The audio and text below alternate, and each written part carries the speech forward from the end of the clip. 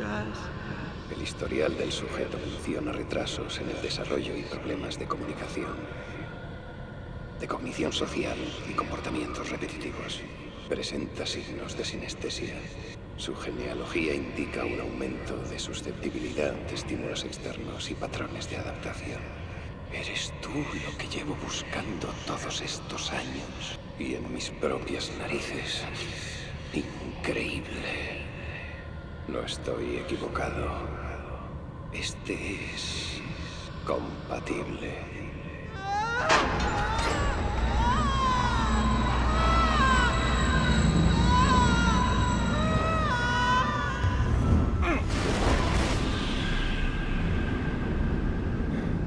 Pero, ¿qué cojones?